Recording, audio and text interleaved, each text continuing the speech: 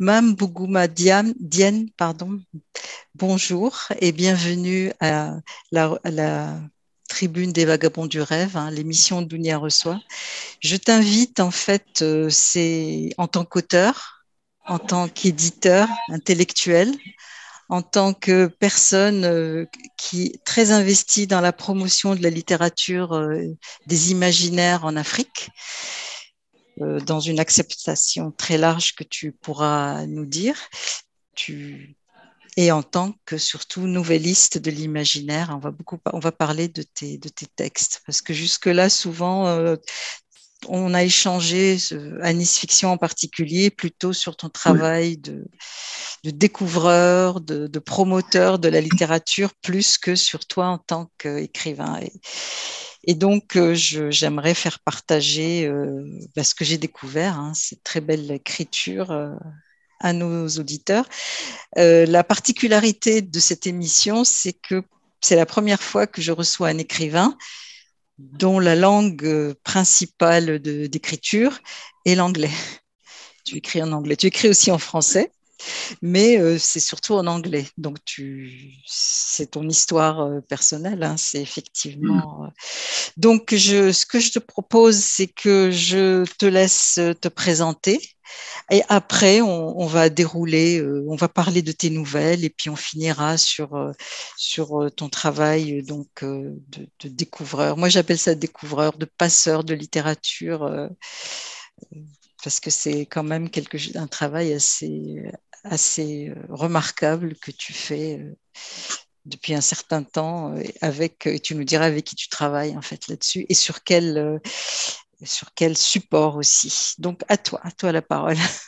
Ah, merci, euh, merci euh, beaucoup Dounia de me recevoir et euh, c'est vraiment très généreux comme introduction. Euh, alors là, intellectuel, etc. Je, éditeur intellectuel. Tu... Ah, si, quand même. Éditeur intellectuel. voilà. euh, non, non, je te remercie vraiment. Ça fait c'est un plaisir d'être ici. Et, euh, et donc, comme tu disais, oui, je m'appelle Mambougou Madienne. Euh, je suis euh, auteur euh, de nouvelles, surtout, surtout de nouvelles, enfin, pratiquement que des nouvelles d'ailleurs. Euh, et je suis aussi éditeur de la revue Omenana pour les, les éditions francophones africaines.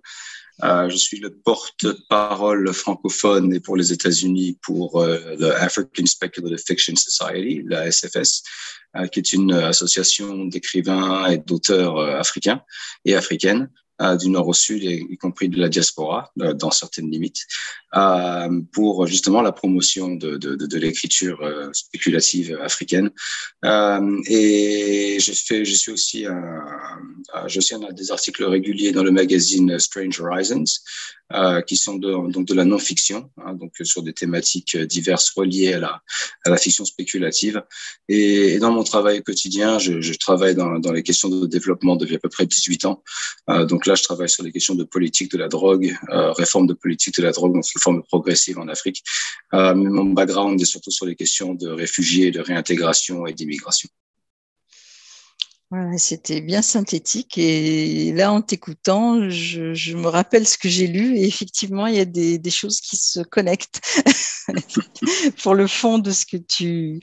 Donc, en fait, euh, avant de commencer à parler plus précisément des nouvelles, euh, est-ce que tu peux nous dire où on peut les trouver? Parce que je pense que beaucoup de personnes lisent l'anglais ou pratiquent plus ou moins l'anglais. Donc, euh, tes textes ont plusieurs niveaux d'écriture, sont pas tous accessibles de la même façon, mais on, où est-ce qu'on peut les trouver?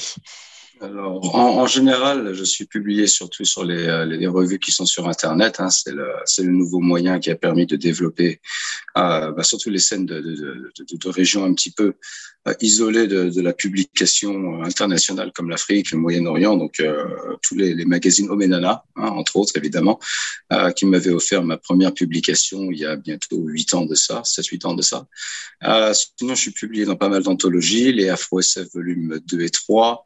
Euh, j'ai ma collection qui a été publiée il y a quatre ans maintenant, il me semble bien. Euh, l'anthologie Dominion qui est sortie l'année dernière, euh, African Futurism qui est aussi sorti l'année dernière. Euh, là, il y a Météotopia de, Future Fiction de Francesco Verso qui, est aussi ben, une histoire dont on va discuter aujourd'hui un petit peu. Je suis également publié dans l'anthologie Africa Risen qui est publiée par Thor, qui sort en novembre.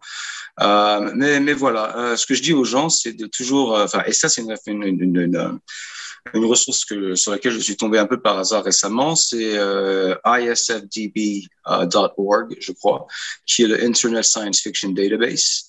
Euh, qui est une base de données qui est tenue par des gens qui sont absolument merveilleux et je ne sais absolument pas qui ils sont. Euh, mais ils arrivent à répertorier euh, les histoires de tout le monde et autant euh, les nouvelles que les romans avec une information biographique sur la personne, avec la non-fiction séparée, euh, si on est nominé pour des prix, les nominations, dans quel prix.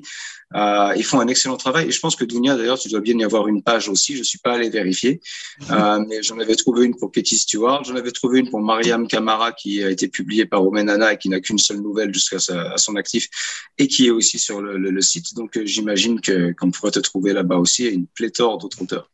Euh, donc c'est un très bon moyen de, de, de retrouver, de, de garder la trace euh, de ce qui sort chez les gens. Oui, c'est une immense euh, récollection, si on peut dire, de. C'est un travail de littérature énorme. Je ne sais pas qui sont ces gens. Je ne sais pas qui les paye ou qui ne les paye pas ou comment ils trouvent le temps, mais c'est vraiment un travail extraordinaire et je les remercie. Et effectivement, c'est bon à savoir. Euh, mais, mais ça ne, ça ne, c'est pas uniquement l'Afrique. Pour le coup, c'est mondial. Ah, c'est mondial. C'est absolument, mondial, absolument, ouais. Oui, effectivement, Katie Stewart, que tu as cité, écrit en français et donc euh, publié en hein France. Donc, du coup, elle a pas, ben, tu la trouves aussi, quoi. Ah, tu, la, tu trouves Katie Stewart ah, aussi. Ah, oui c'est assez fascinant.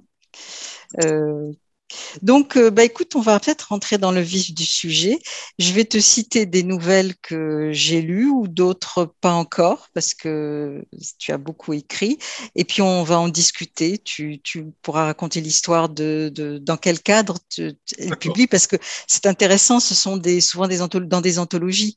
Donc, euh, il y a un travail et puis, euh, et puis on parlera après des, des, thématiques. Enfin, moi, personnellement, ce qui m'a touché en, en, te lisant, euh, alors, je commencerai par euh, une qui avait sorti, qui est assez récente. Donc, c'est euh, Leki Leki, si, si, ça se prononce oui. bien comme ça, qui est apparu donc dans Fra African Futurism, euh, dirigé par Wal Talabi, qui lui-même est un écrivain. C'est exact. Oui, oui, oui. Wal est un écrivain nigérian voilà, nigérian, euh, chez Brittle Paper et qui est paru bah, en 2020, qui est en fait une année euh, qui n'a pas été faste, mais qui, qui a permis quand même de. Il faut la rattraper ce qui a été. Et c'est une histoire assez. Euh, là, pour le coup, on est dans la science-fiction. Oui. Oui. Enfin, et... euh, oui, j'hésite toujours à. C'est un peu le, le, le, la question de est-ce que Star Wars est la fantasy ou la science-fiction. Hein. Euh, c'est que c'est un peu toujours les deux euh, en ce qui me concerne. Euh, c'est un peu, c'est un peu toujours les deux. Euh, on appelle ça la, la, la science fantasy hein, pour ceux qui veulent, ceux qui veulent absolument trouver un moyen de, de mettre les choses dans une case ou dans une autre. Mais généralement, on est dans la science-fiction. On va dire ça comme ça. Et donc, euh, c'est un univers un peu particulier, hein, sans, sans, spoiler, comme on dit. Euh, c'est une humanité. Est-ce qu'on peut dire que c'est post-apocalyptique? Enfin, Je ne sais pas si tu, peux, tu, tu, veux nous en parler un peu sans. D'accord. Il, euh... il, y a une héroïne qui a une histoire assez, assez étrange. Oui, en effet. En effet. Euh, bah, Leki, Leki, euh, le titre vient d'une chanson de Baba Mal. Euh, et les paroles de Baba Mal sont d'ailleurs utilisées dans, dans, dans, dans l'histoire. Euh, Baba m'a autorisé à les utiliser. Hein. Ce n'est pas un vol de droit d'auteur. Je lui ai écrit. Il a même écrit lui-même un bout de papier pour me dire qu'il les autorise. euh, à la main sur une page arrachée dans un cahier. Euh, très très sympa.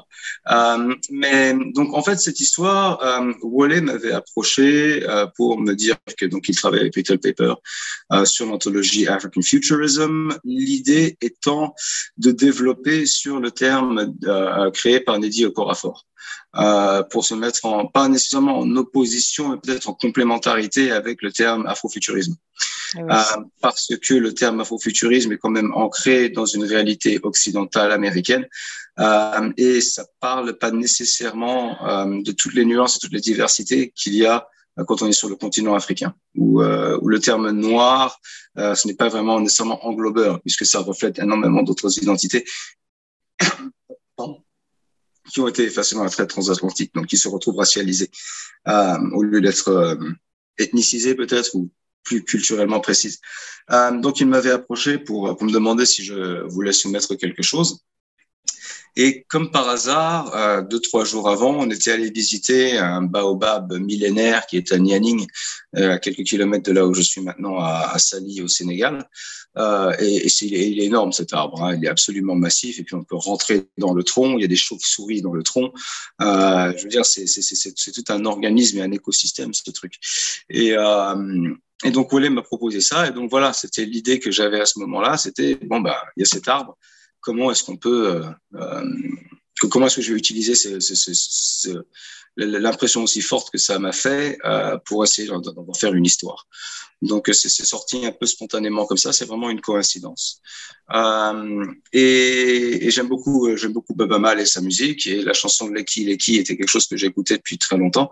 Donc à ce moment-là, les, les, les, deux sont arrivés ensemble et, euh, et c'est ce qui m'a permis d'écrire ce truc. Je l'ai écrit en une semaine d'ailleurs, ça s'est ah passé oui. très, très très rapidement. Ouais. Oui, parce que c'est un texte qui est très, très construit, mal, qui ça ne se voit pas, mais en une semaine, il est très construit, il est, euh, il est très poétique, effectivement. Ah, merci.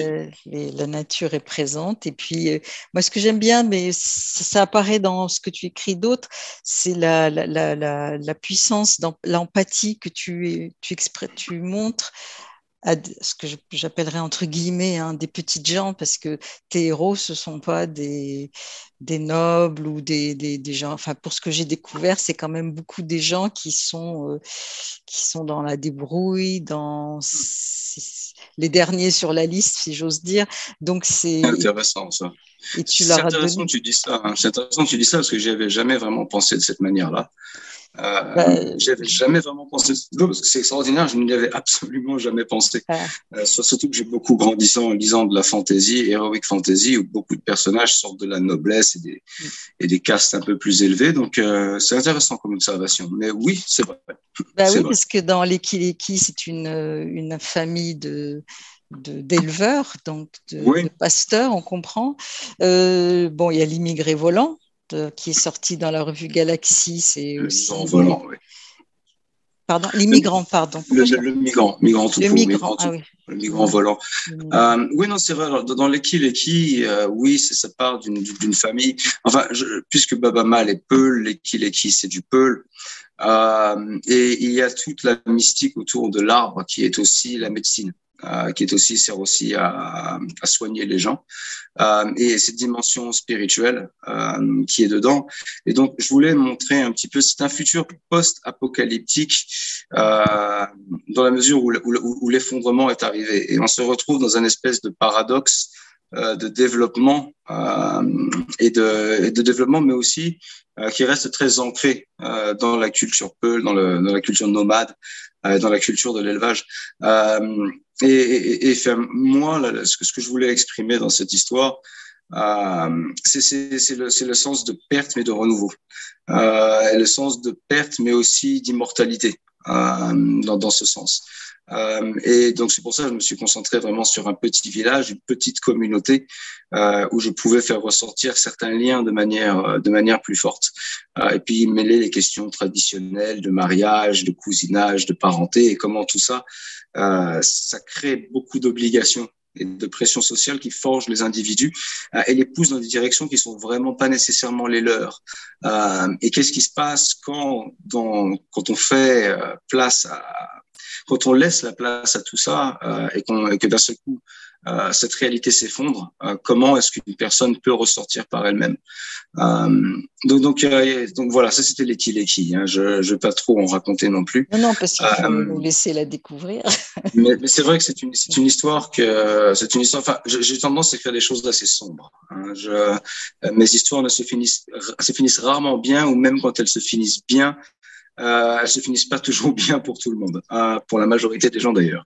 Euh, mais donc oui, c'est une histoire qui, qui m'a qui m'a quand même demandé beaucoup de euh, émotionnellement, c'était très, c'était quelque chose de très, de très euh, euh draining, euh, très épuisant. Mais, mais c'est aussi ça qui m'a permis de l'écrire aussi rapidement. C'est parce que lorsque l'on arrive à vraiment se, se ressentir dans le personnage, euh, c'est là qu'on sort ce qu'il y a de mieux, en fait, hein, dans mon, à mon sens. Hein. Il faut, comme on dit, il vaut mieux écrire le plus vite possible. il vaut mieux écrire le plus vite possible et pas se poser trop de questions.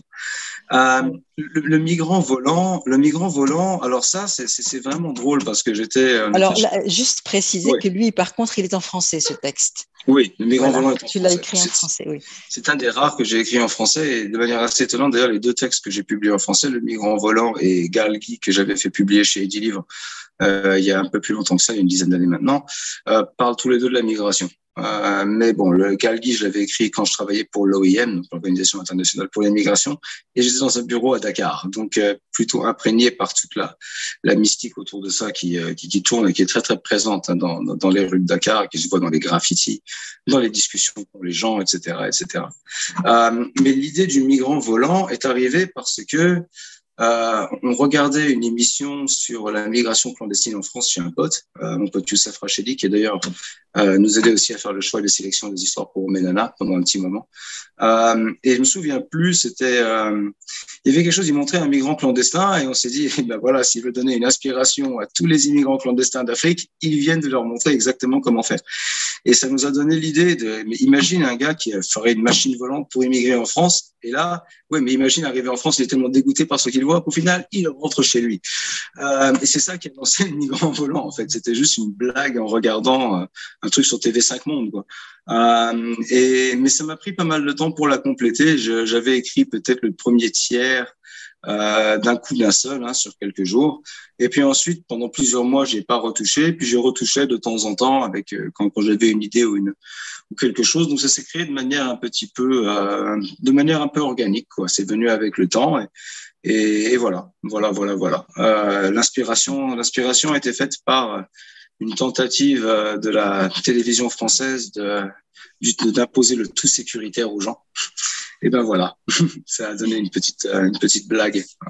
C'est une blague, euh, c'est une blague qui est aussi, euh, qui aussi, c'est aussi un symbole. Ils peuvent effectivement élever des murs de 4000 mètres. Les gens passeront ah oui, quand même. Les gens passeront quand même, mais surtout, euh, voilà quoi. Il y a, y a, une partie où, au début, enfin, où, où Brahim se retrouve à aider les migrants clandestins au niveau de Ceuta et Melilla, et on a vu ce qui s'est passé il y a quelques semaines. Hein. Oh, ça, 30, 35 morts, 80 blessés. Et, et moi, moi j'y ai été dans le cadre de mon travail hein, à Ceuta et Melilla. Euh, c'est une expérience qui est assez, euh, qui est assez extraordinaire. Hein. On passe, on passe du Maroc à l'Europe d'un seul coup. Euh, de l'autre côté, ça ne parle plus que espagnol, mais autour de vous, vous voyez énormément d'immigrés marocains et, et d'Afrique subsaharienne. Euh, mais c'est vraiment l'enclave ça se, ça c'est pas ça se pousse physiquement nécessairement au niveau de la frontière routière, mais euh, c'est un trafic énorme. Euh, c'est un trafic énorme et, euh, et, ça influence énormément de choses. Hein. Le, le trafic, on n'en parle pas beaucoup, mais le trafic d'héroïne euh, passe énormément par Ceuta et Melilla. Euh, L'héroïne qui arrive d'Afrique de l'Est, elle passe par Melilla et ensuite elle ressort au Maroc et euh, avant de repartir, enfin, ils en est parti par vers l'Europe. Donc, c'est quelque chose qui crée des, des, pôles.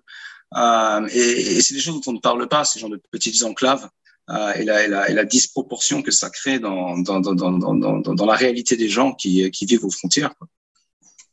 Oui, c'est sûr, c'est sombre, hein. c'est à la fois, entre guillemets, je dirais, un peu picaresque, ce, ce petit gars dégourdi qui, qui bon bah qui bricole euh, et puis en même temps euh, c'est il y a aussi un jeu dont sur ce qu'on voyait d'ailleurs déjà dans, dans un autre registre dans l'Eki euh, mm. tu, tu as des paroles mais c'est un Peul alors tu disais? C'est du Peul c'est du Peul euh, dans le migrant volant c'est euh, une espèce d'argot arabe oui oui oui donc, je vais demander tu... à un ami marocain qui habite au Canada de, de bien me corriger les expressions en arabe et du coup, c'est très drôle. Enfin, c'est très pas, c'est pas que ce soit rigolo, drôle dans le sens humoristique, mais il y a, il y a, il y a une, il y a des plusieurs niveaux de langue dans, ton, dans tes textes, d'ailleurs, mm. puisque tu as, mais même de langues différentes, puisqu'on a des, des incrustations de,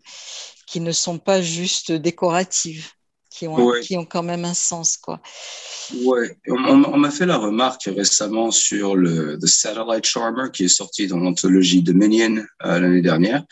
Euh, qui est d'ailleurs en train d'être traduite et illustrée en italien. Je suis très très très content.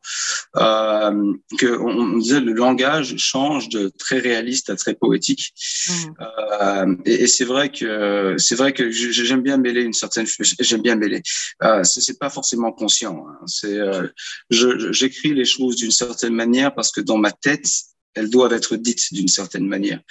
Euh, il y a des choses qui vont nécessiter d'être dites de manière super crue. Il y a des choses qui vont nécessiter une petite envolée lyrique parce que euh, il y a des choses qui parfois doivent être dites de la manière la plus plate et la plus choquante possible parce que euh, au-delà d'écrire de l'horreur, il y a tellement d'horreur dans la réalité que parfois c'est juste le fait qui, qui, qui va marquer le plus les gens plutôt que d'essayer de de le couvrir de métaphores ou d'images. Parfois, c'est, il faut juste dire les choses comme elles sont. Oui, d'ailleurs, euh, bah, puisque tu parles d'horreur, il y en a, il y a une, une nouvelle qui, qui, sortira en novembre. Je ne sais pas si on peut en parler, la Soul of Small Places, qui sera dans Africa Rising et qui est, qui est superbe d'ailleurs. Mais effectivement, là, je, on est plus dans le domaine du fantastique, non? Oui, oui, oui, oui. Alors celle-là, euh, celle-là, c'est, elle est co-écrite avec avec ma femme au Padiello. Euh, en fait, c'est un peu, on venait de se rencontrer quand je commencé à écrire cette histoire.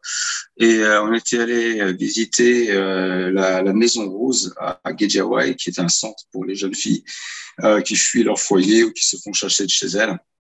Euh, en général parce qu'elles sont enceintes, euh, et euh, qui leur offre donc l'hébergement et quelques opportunités de développer leurs compétences et d'apprentissage, etc. Et, et, et Wopa, ma femme, parlait un peu de, de Matam et de sa région. Euh, et, et, la manière dont elle en parlait m'a tellement marqué que c'est cette histoire-là que j'ai écrit en fait.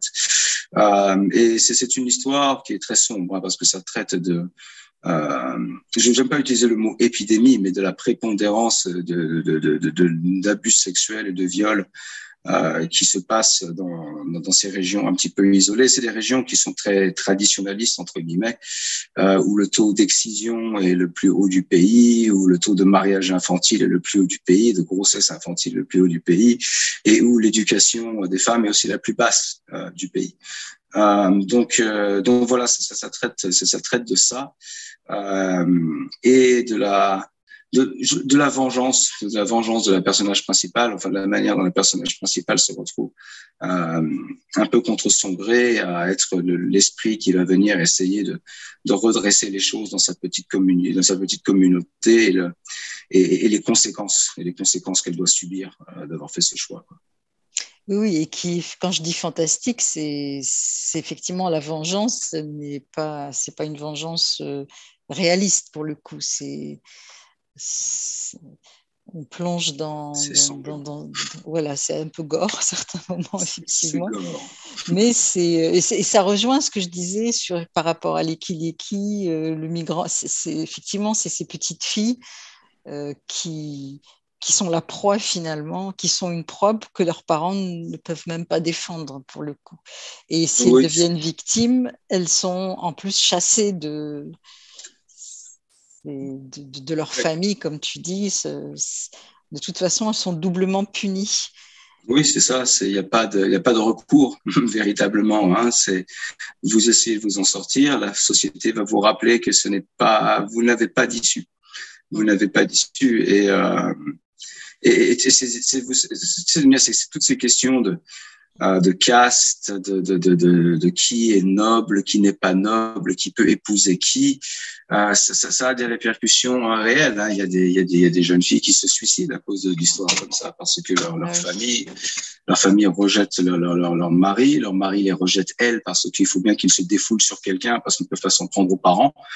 Euh, et, ça, ça, a des conséquences, ça a des conséquences assez énormes. Et quand ça se passe dans un environnement où en plus euh, tout est fait pour vous rappeler que votre place est dans la cuisine ou aller chercher l'eau ou à s'occuper des gosses, euh, psychologiquement, c'est psychologiquement c'est extrêmement lourd, c'est extrêmement lourd et, et, et c'est important de, de, d'y penser quand on voit des, des, des, jeunes filles africaines qui sortent d'Afrique noire ou du Maghreb, euh, qui, qui, qui arrivent à, à, avancer dans la société et à vraiment prendre un rôle et prendre une place, de se rendre compte que ce n'est pas juste une question de, de, de, de, de c'est pas juste une question de sortir de la pauvreté, c'est sortir aussi psychologiquement, réussir à, à surmonter énormément de choses et énormément d'obstacles. Et donc euh, je ne sais pas si quelque part j'essaye de, de, de, leur rendre hommage euh, dans ce sens-là, mais mais pour moi c'est quelque chose que, que c'est quelque chose qui est fondamental. C'est quelque chose qui est fondamental et, et, on est dans des pays qui sont encore en développement. On est dans des pays qui ne peuvent pas se permettre d'écraser la moitié des forces vives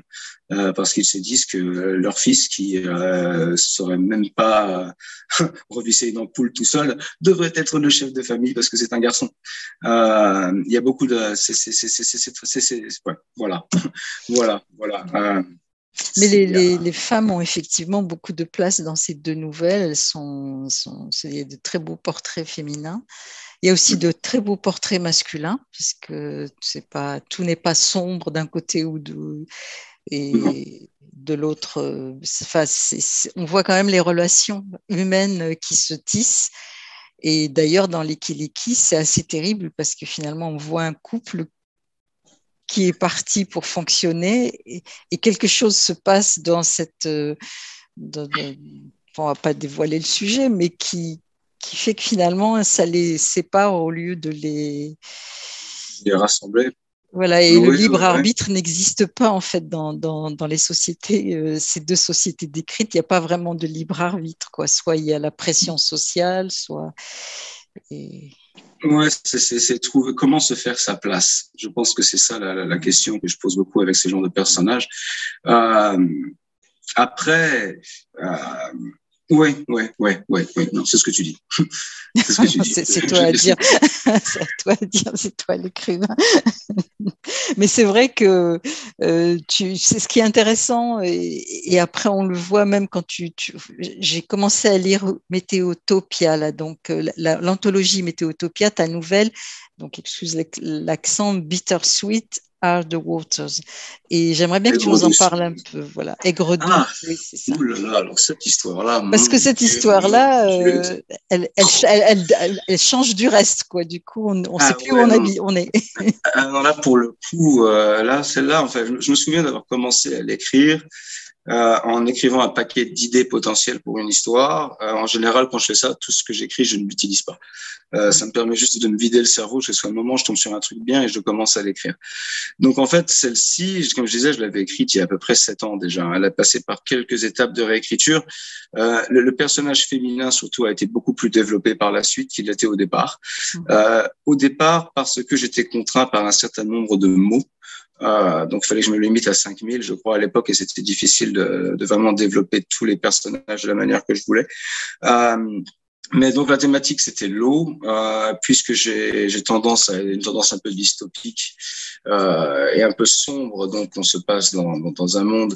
Enfin ça, ça c'est vraiment plus de la science-fiction. Je sais pas où est-ce qu'on est dans la science-fiction, dans la fantasy. Euh, les, deux se retrouvent.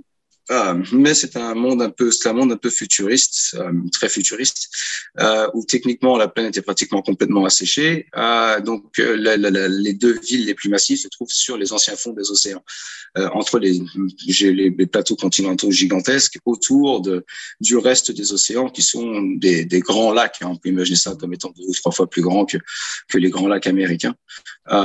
et donc la société est très régulée, régulée. Enfin, je voulais, c'est environnementaliste dans une certaine manière, mais pour moi, c'était plus une question de, de, de parler des corporations.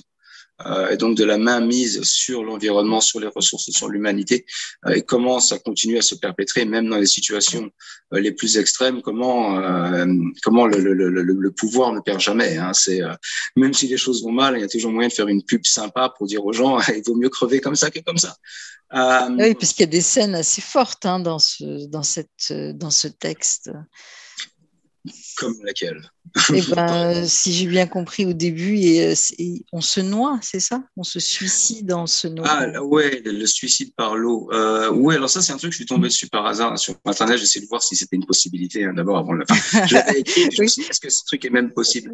En fait, oui, c'est possible. Mais ça, ça, il faut, il faut boire et boire et boire pendant des heures et des heures et des heures, ne jamais aller uriner entre temps et que, en effet, les, les cellules d'eau se retrouvent dans le cerveau et qu'il n'y a pas la place parce que ça gonfle, ça gonfle, ça gonfle, et, vous, vous mourrez à peu près d'une rupture d'anévrisme, grosso modo. Euh, mais donc voilà, c'était pour rester dans cette thématique de l'eau.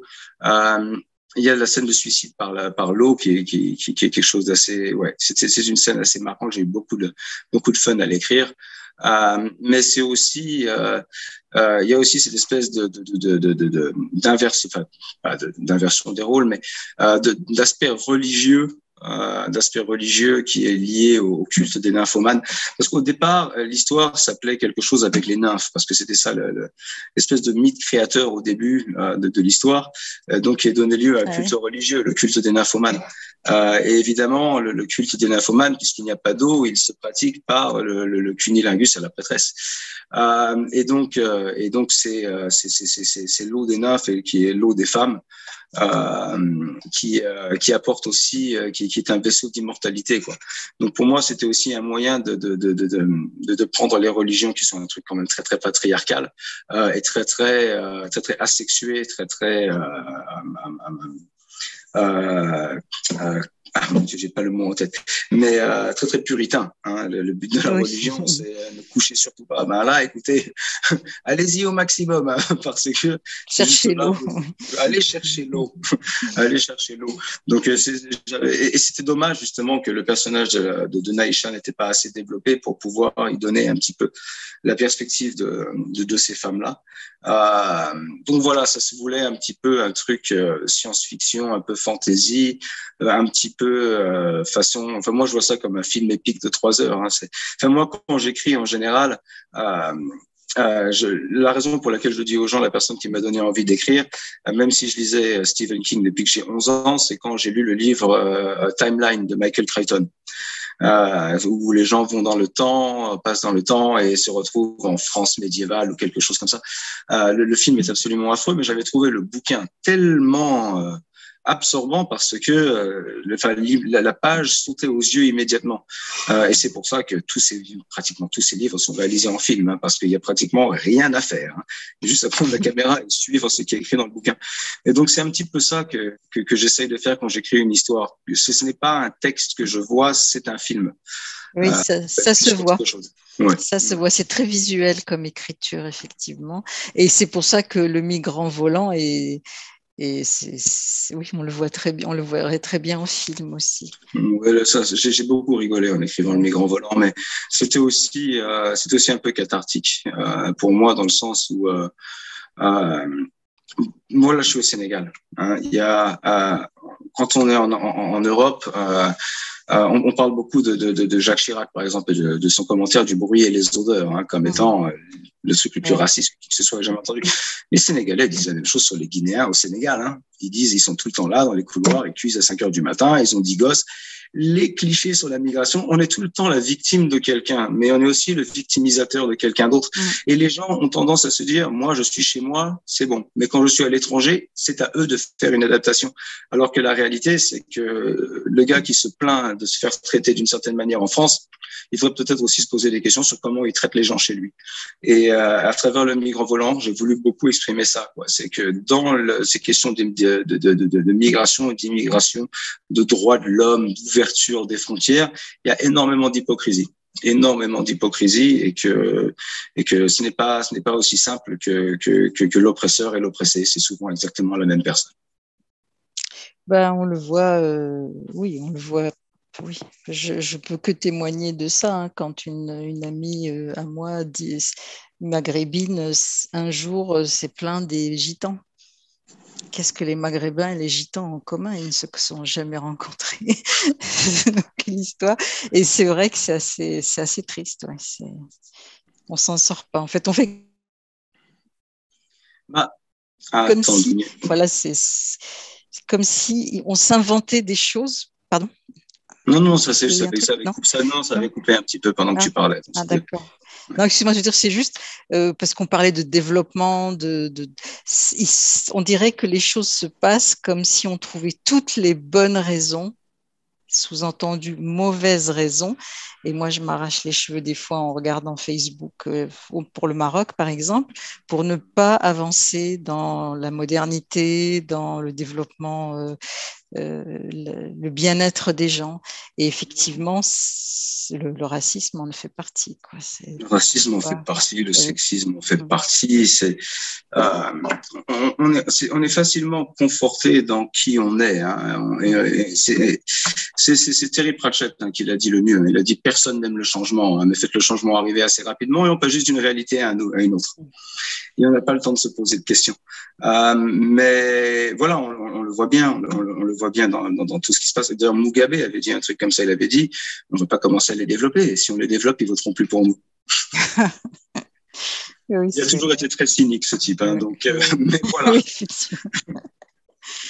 Et en fait, euh, donc la question que je voulais te poser, c'était sur quel fond tu as pu créer des textes si différents entre eux? Mais très proche finalement.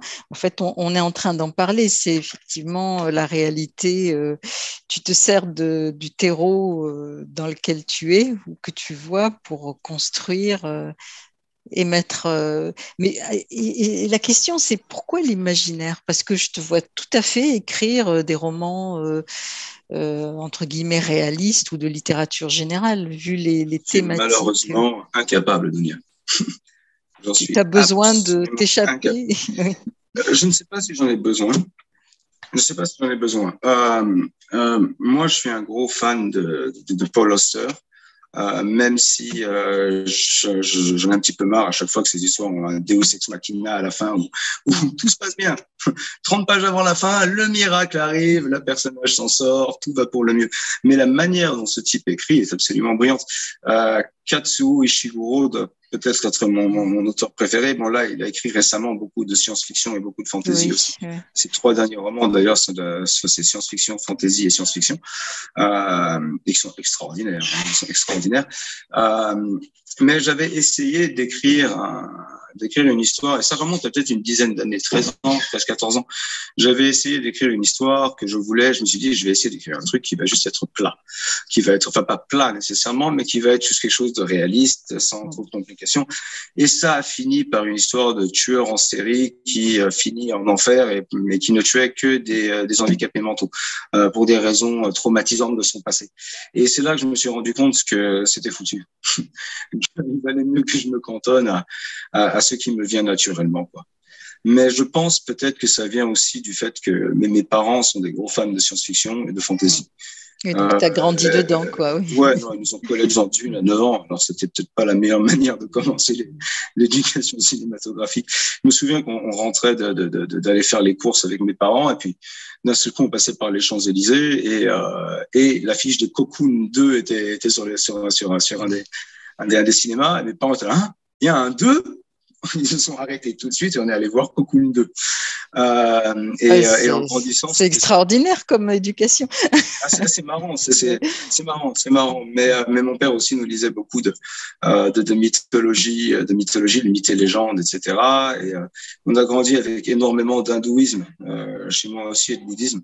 Et pour moi, un des, de mes premiers super-héros, c'était Hanuman, ah le, dieu singe, fils, le dieu singe, fils du vent.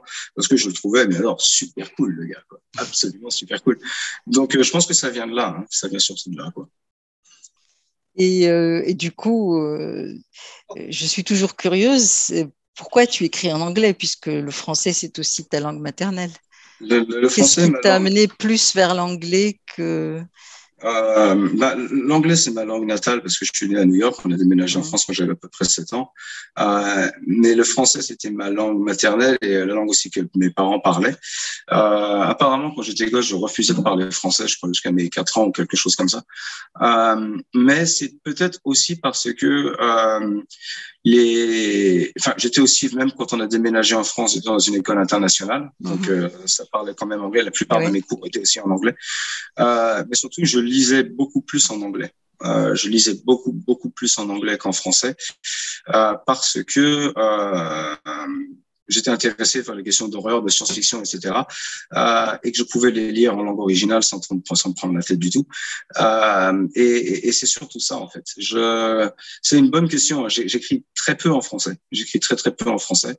Euh, j'ai des idées, mais en général, euh, même si j'ai une idée en français, elle finit par se matérialiser en anglais à l'écrit.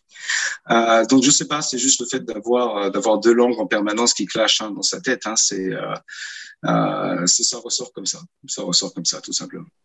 Et tu, sans indiscrétion, tu, tu n'en as pas une troisième ou une quatrième? Si je parle espagnol, euh, je parle espagnol, c'est clairement ma troisième langue. Euh, mais ça, c'est parce que je l'ai appris au lycée et puis j'ai passé du temps à Porto Rico et puis au Mexique.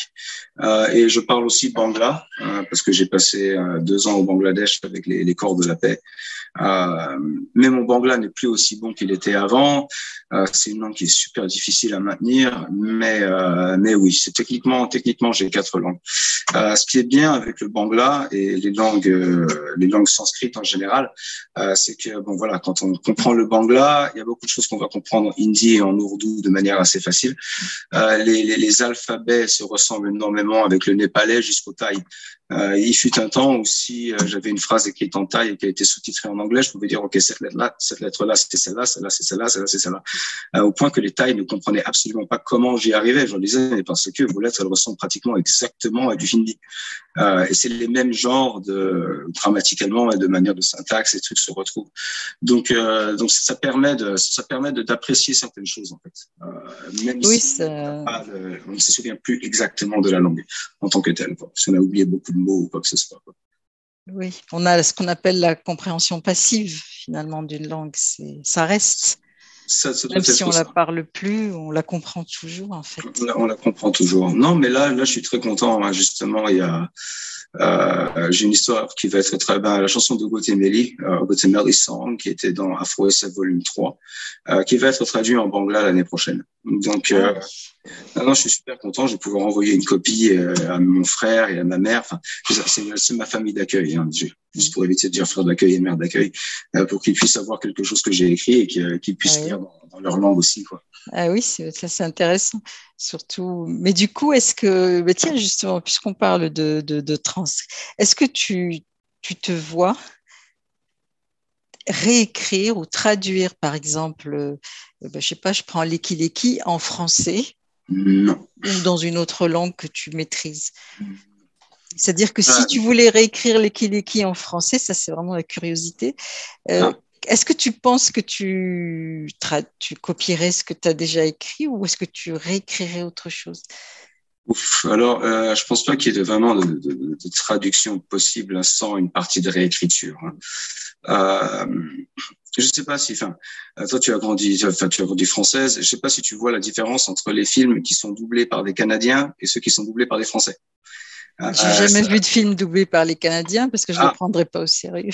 Ah, non, non, non, non, non, c'est vrai qu'on on se dit ça souvent avec l'accent, mais en général, quand les Canadiens font des traductions, ils prennent des gens avec un accent assez neutre. Euh, avec un accent assez neutre. Et, euh, et j'ai parlé avec des amis, je leur disais, moi, je préfère les versions canadiennes parce que au moins, tout ce qu'ils disent en anglais, la manière dont c'est dit en français, c'est exactement la même. Je retrouve exactement l'humour du film original américain. Alors qu'avec dans la traduction. Dans la, dans, dans la traduction. Oui, alors que dans le, alors que le film français, je veux dire, ah ouais, ok, ça ils l'ont changé pour ça, ça ils l'ont changé pour ça, ça, ça n'a aucun sens. En fait, dans la version originale, c'est supposé être drôle, mais ça ne l'est pas. Et je me retrouve à chaque fois à devoir décortiquer le film que je regarde, alors qu'avec une traduction canadienne, 100% c'est dans la poche parce que l'anglais et le français sont des bases beaucoup plus communicants là-bas. Mm-hmm. euh, et donc, il n'y a pas de traduction euh, qui soit parfaitement littérale. Mais pour répondre à ta question, la réponse est un, fermement un non. Euh, je ne serais pas capable de traduire une de mes histoires. Euh, ça, ça, me demanderait tellement, ça me, enfin, j'aurais du sang qui me coulerait par les oreilles euh, à devoir essayer de le faire. Euh, et, j'essaie de dire aux gens, en fait, parce que beaucoup de gens me demandent, est-ce que tu peux m'aider avec des traductions? Et j'essaie d'expliquer aux gens que juste parce qu'on est parfaitement bilingue, ça ne veut pas dire qu'on est un traducteur naturel. Euh, parce que quand, on apprend une langue, on a tendance à l'apprendre en relation à une autre. C'est-à-dire que si on apprend l'anglais et qu'on parle d'abord français, on va, on va apprendre les mots français en anglais. Moi, j'ai appris les mots en anglais en parlant anglais. J'ai appris les mots en français en parlant français. Donc, parfois, j'ai des trous quand je suis dans plein de conversation parce que je n'ai pas le mot immédiatement. Si je suis en train de en français, ce mot ne sera pas dans ma tête en français. Il sera dans ma tête en anglais. Tant que c'est moi qui pense, je n'ai aucun souci. Si c'est moi qui parle avec mon frère Babacar, on va changer de langue tous les quatre ou cinq minutes si jamais il y a un truc qui, doit, qui vient nous faire passer.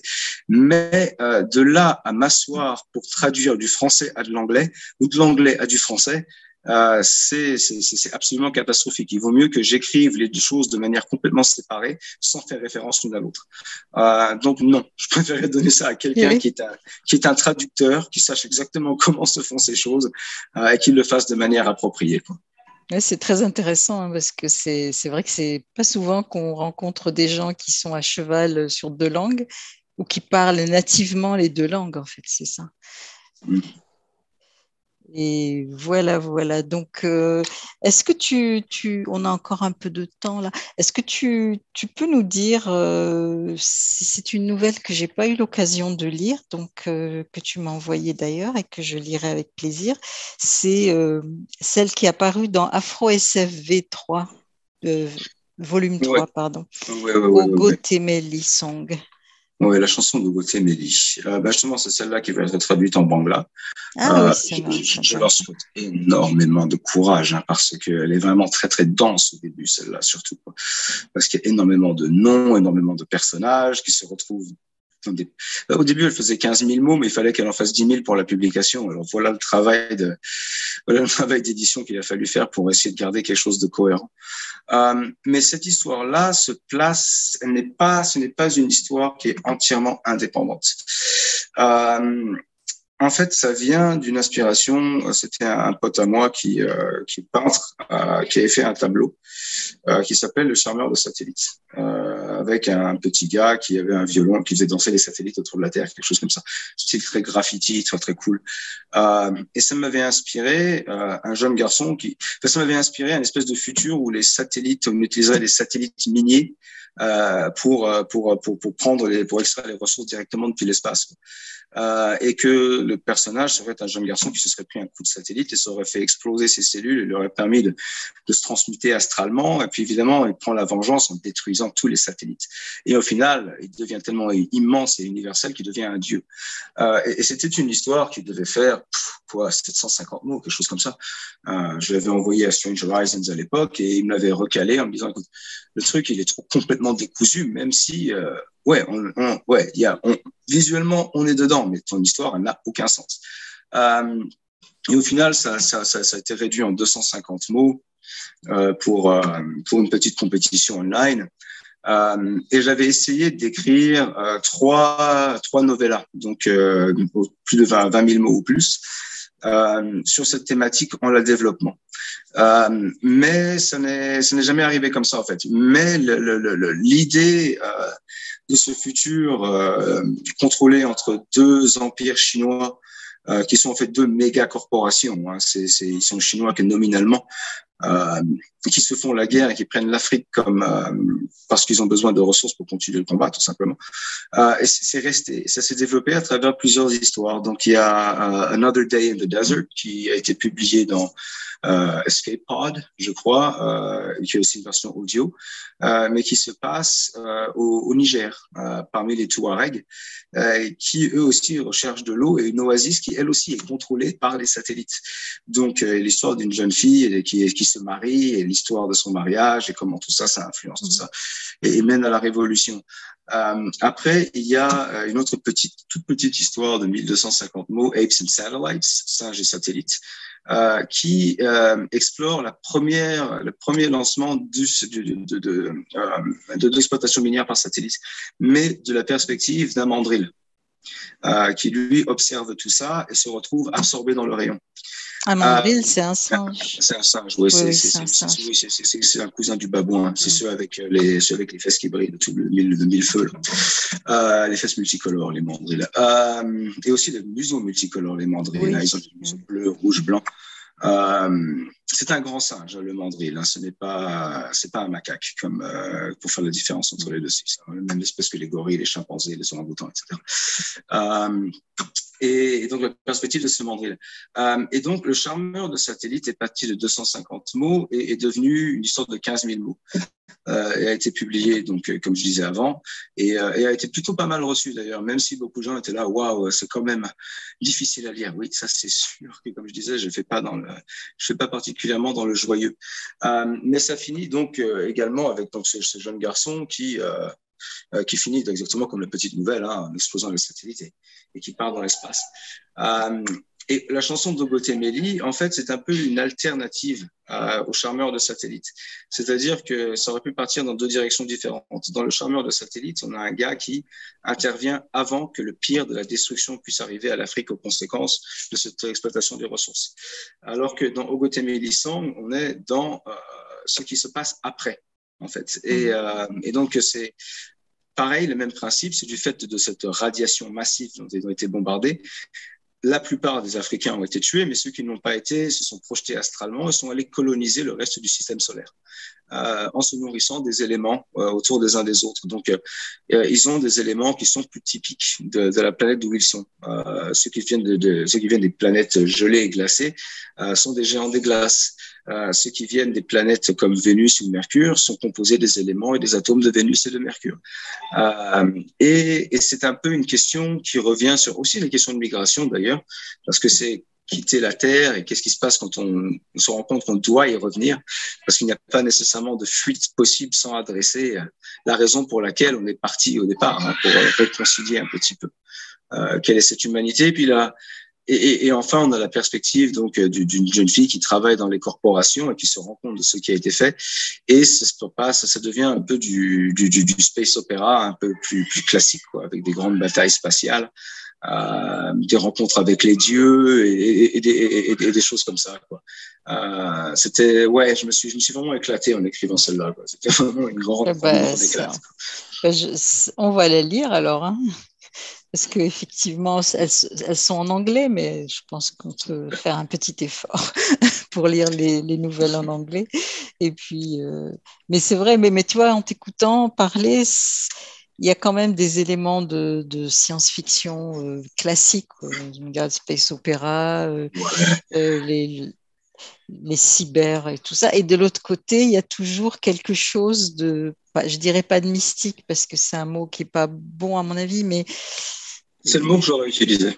Tu l'aurais utilisé, bah alors d'accord. C'est le, mot que j'aurais utilisé, mais, plutôt dans la manière, euh, dans la manière dont, dont, dont c'est utilisé par les soufis, quoi. C'est-à-dire que euh, au-delà de la religion, il y a aussi l'élément, l'élément mystique, quoi, qui vient de, euh, de, de, de, de, tes croyances et de, l'inconnu, quoi. Et euh, c'est pas nécessairement une question de divinité euh, en tant que telle, enfin pas pas, de, pas dans, dans la manière dont elle est écrite de manière religieuse, euh, ou théologique plutôt, mais de, la, question. Pour moi, c'est plus le mysticisme dans la libération. Euh, c'est euh, le derviche tourneur qui tourne, qui tourne, qui tourne, qui tourne, qui tourne pour oublier son existence et pouvoir s'offrir au cosmos. Euh, et, c'est un petit peu ça. C'est ça. Euh, mais bon, voilà, écoute, hein, j'ai, euh, je, vais avoir 43 ans. Hein. Moi, j'ai grandi sur les gros classiques. Hein. Mm-hmm. Euh, moi, je suis un fan. J'ai grandi avec Stephen King et H.P. Lovecraft. Euh, tu vois ce que je veux dire? Je, Avec le cinéma aussi, beaucoup. Avec le cinéma, oui, énormément. Avec le cinéma, avec avec Asimov et tous ces trucs-là, les, les, classiques du départ. Euh, Ray Bradbury, les, les, Chroniques de Mars restent un des trucs les plus phénoménaux que j'aurais jamais lu de toute mon existence. Hyperion reste dans, reste aussi. Moi, je, je suis un classiciste. Hein. Je suis un classiciste vraiment. Euh, mais tu me demandais tout à l'heure un peu ce qui, euh, pourquoi j'écrivais des choses aussi différentes, même s'il y a des thématiques un peu sociales qui s'y retrouvent. La, raison, je, n'en ai absolument aucune idée. Euh, c'est euh, quand j'ai une idée, quand j'ai une idée et qu'elle est bonne, je l'écris. Si j'ai un début et une fin dans ma tête, c'est bon, je vais l'écrire cette histoire. Si je n'ai pas de fin, si je n'ai qu'un début, je, il, y a, il y a une chance que je la commence, mais il y a très, très, très peu de chances que je la termine. Et je vais me retrouver avec 50 pages dont je ne saurais absolument pas quoi faire. Ou dans certains cas, 125 pages dont je ne sais absolument plus quoi faire. Euh, parce que j'y ai pas, j'ai pas pris le temps de, de, de, le créer dans ma tête. Mais euh, je sais pas, je sais pas. Je, ce qui me vient à l'esprit. Vraiment, c'est ce qui me vient à la tête. Après, euh, après, après, tout se joue dans l'écriture. Après, tout se joue dans l'écriture. Oui, euh, c'est effectivement, oui.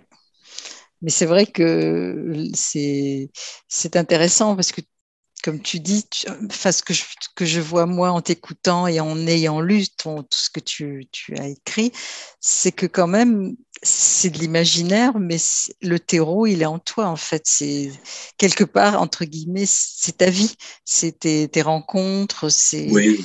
euh, c'est pas le l'imaginaire n'est pas un moment où tu te déconnectes de, de, de, la, de la vie réelle, c'est un moment où tu je sais pas ouais. comment dire ça, tu t'en sers pour aller plus loin, mais finalement, tu t'en sers. Quoi. C'est ce qui fait la richesse de tes textes. Hein. Ben, le, le, truc, c'est que je, je, me retrouve avec beaucoup d'imaginaire ou spéculatif parce que c'est comme ça que les choses se développent naturellement. Peut-être par facilité aussi, parce que ça donne beaucoup plus d'options, tout bonnement et simplement. Euh, mais au final, euh, on n'est jamais en train d'écrire de l'horreur, on n'est jamais en train d'écrire de la science-fiction, on n'est jamais en train d'écrire euh, du, du, mélodrame de Bollywood, on est en train d'écrire l'histoire de quelqu'un. Et les histoires qui sont bonnes sont celles qui nous permettent de développer un personnage et où on rencontre un personnage et les nuances de ce personnage. Euh, Sinon, oui, sinon, bon voilà, on est dans le. Sinon, ça marche très bien dans les films, hein, parce qu'il suffit de mettre de la CGI dans absolument tous les sens et waouh euh, Et on est bluffé, hein, et on ne se rend pas compte que Avatar, euh, c'est Danse avec les loups, et que c'est aussi euh, Le Dernier Samouraï, et qu'on l'a déjà vu ce film tellement, mais on est complètement ébloui par ces géants bleus. Euh, mais au final, voilà, hein, il, est sympa, James Cameron, mais il n'a absolument rien inventé avec Avatar. Euh, et donc l'originalité, pour moi, ne se trouve pas nécessairement dans le, dans le visuel, mais dans, dans l'authenticité de, de, de, du personnage que tu crées. Quoi. Voilà, c'est une, une, belle fin pour, pour conclure. Pardon, James Cameron, pardonnez-moi. je ne m'en voulais pas, s'il vous plaît. non, je pense pas. on verra. Mais on ne sait jamais, au cas où. Ouais, oui, parce que ça, tes textes peuvent très bien faire des films, hein, ça, je, je, le maintiens. Ouais, après, il euh, y, a, y, a, une magie dans, le, dans la langue que bah, qu'il faut savoir mettre en image après. Moi, j'en reste à l'écriture. Je trouve que c'est déjà assez, assez, assez beau comme ça. Bah, écoute, on, on va s'arrêter là. Hein. Je te remercie beaucoup vraiment de nous avoir fait partager tout ce tout ce beau moment autour de, de, ce que tu as écrit. Hein. Je, je, Merci à toi, C'est vrai que je te connaissais plus comme euh, quelqu'un d'investi dans, dans la promotion des autres que comme un écrivain. Tu, finalement. Et puis là, je, je pense, je, je, me suis assise, j'ai pris le temps de lire et j'ai vu que c'était d'abord un écrivain qui j'avais à. Merci, voilà, donc c'est vraiment, c'est sincère. Voilà, donc écoute, je te remercie, je te rends à ta petite fille qui, qui doit être dans le coin. oui, oui, je crois qu'elle elle est devant Baby Shark là, donc elle devrait ah, être pendant un petit moment. Déjà, déjà. Voilà, et puis bah, écoute, j'espère qu'on aura l'occasion de se recroiser, euh, ben, soit à Nice Fiction, soit d'autres occasions. Et puis, euh, je te remercie beaucoup. Et puis, je te Moi qui te remercie, Voilà, à bientôt, très bientôt. Bonne soirée. Au revoir, même. Au revoir. Au revoir.